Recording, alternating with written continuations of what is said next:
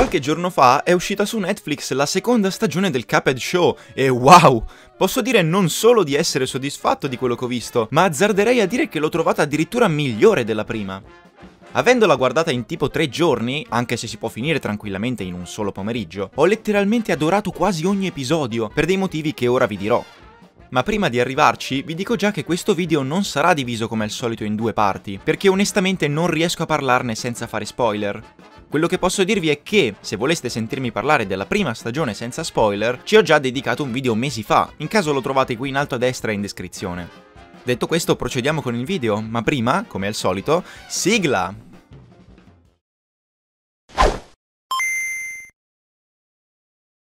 Perché nel titolo ho scritto che la seconda stagione è decisamente migliore? Beh, perché già dai trailer che abbiamo visto ancora prima che la stagione uscisse, c'era qualcosa che aveva attirato la mia attenzione e mi aveva fatto alzare l'hype. La presenza di numerosi boss nelle puntate. Finalmente! Nello scorso video avevo già detto che una delle pecche, secondo me, della prima stagione era la poca presenza dei boss, ma stavolta si sono fatti perdonare, considerando che molti episodi sono dedicati ad alcuni boss. Peccato però se volevate vedere Hildaberg, visto che appare letteralmente per meno di 5 secondi in tutti e 13 gli episodi. Prendiamo ad esempio Calamaria. A lei non solo è stata dedicata la puntata più lunga, ma appare persino in due puntate diverse. Bello inoltre come la doppiatrice italiana sia Selvaggia Quattrini, non solo la stessa di Fiona di Shrek, ma pure di Ida di Deolaus.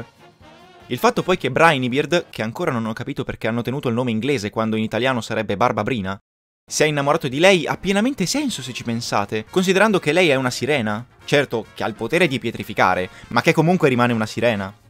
E le leggende dei pirati parlano sempre di come le sirene siano un pericolo, visto che sono in grado di ammaliare gli uomini e trascinarli con loro in acqua per ucciderli. Bellissimo poi che citino pure la famosa ship fra Calamaria e Magman, considerando che va avanti già da un bel po' tra i fan. Un altro boss che questa serie mi ha fatto completamente rivalutare è stata la baronessa Von Bon Bon. Nell'unico episodio in cui appare sono stato davvero contento di vedere come l'abbiano caratterizzata. Persino l'accento con cui parla mi è piaciuto davvero tanto, è stata praticamente l'unica puntata che ho visto in originale. La doppiatrice, per essere al suo primo lavoro, ha fatto un lavoro incredibile. Dai, come si fa ad odiarla?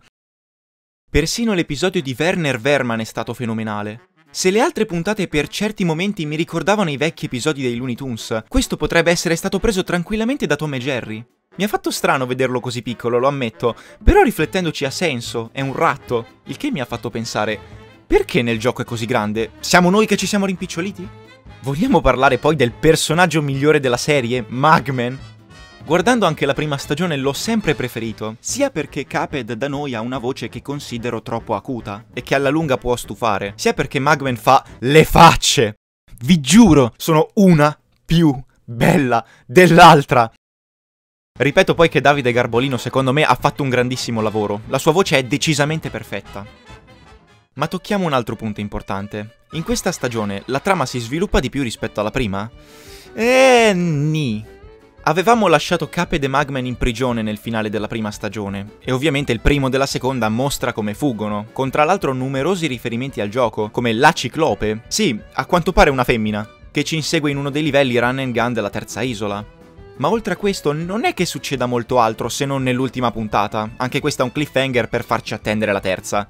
Satanasso ti prego non fare nulla Magman, ti scongiuro!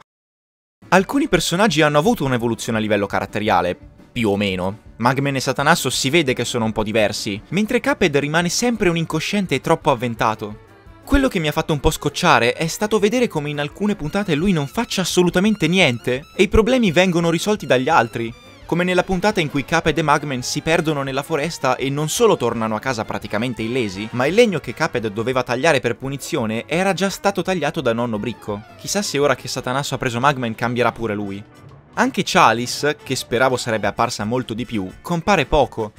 E nemmeno hanno spiegato il perché possa trasformarsi in un fantasma. Nella serie sembra avere una personalità ed un'origine diversa rispetto al gioco, Pensate ad esempio che può passare tranquillamente dal piano astrale a quello normale senza avere bisogno del biscotto e può anche possedere le persone. Quindi è possibile che possano darle un'altra evoluzione anche a livello caratteriale. Vorrei sperare che venga spiegato in un'eventuale terza stagione, ma ho come il presentimento che non succederà. Bello comunque vedere come nel secondo episodio facciano riferimento all'ultimo della prima stagione, ossia che gli abitanti dell'isola Calamaio abbiano capito che Chalice li stesse fregando. Quantomeno ogni puntata non sembra sconnessa l'una dall'altra, escludendo ovviamente i primi e gli ultimi episodi. Una cosa poi che ho notato molto diversa rispetto alla prima stagione è che in questi episodi c'è molta più violenza.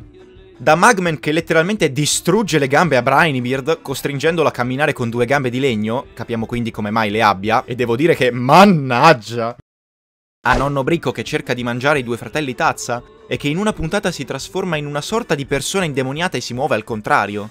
Io onestamente ho adorato questa stagione proprio per tutta questa azione in più, però può anche essere che a voi non piaccia così tanto. Fatemi sapere cosa ne pensate.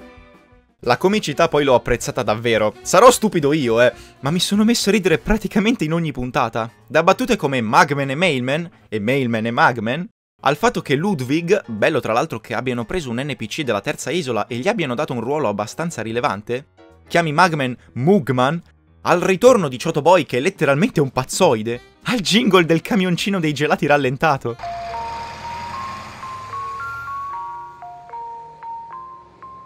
Se la guardate a mente spenta, sono sicuro che qualche risata potrebbe strapparvela.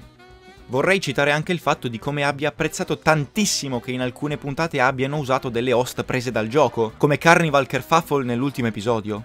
Sicuramente hanno contribuito molto alla resa finale. Ovviamente poi non sarebbe la serie di Cuphead senza riferimenti ai cartoni degli anni passati, ed anche qui gli easter egg non mancano. I miei preferiti sono stati sicuramente l'espressione che Magman fa dopo aver battuto il granchio gigante, che è ovviamente presa da braccio di ferro, è una scena che non sono sicuro al 100%, ma mi è letteralmente sembrata tirata fuori da Topolino e il fagiolo magico. Sapete no, quella dove Topolino affetta l'unico fagiolo rimasto per condividerlo con Paperino e Pippo.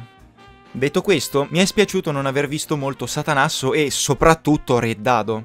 Interessante come abbiano fatto vedere che Caped oramai non debba più la sua anima a Satanasso. Però avrei voluto vedere di più questi due personaggi, considerando che sono praticamente i due antagonisti principali. Speriamo di vedere più cose nella terza stagione, sempre se ci sarà. Per il resto altri difetti non mi sembra di averne trovati, ma voi ditemi. La seconda stagione vi è piaciuta di più della prima? Oppure no? L'avreste realizzata in modo diverso? Avreste voluto vedere altri boss? Chissà soprattutto se vedremo mai anche i boss del DLC ora che è uscito. Fatemi sapere tutto qua sotto nei commenti.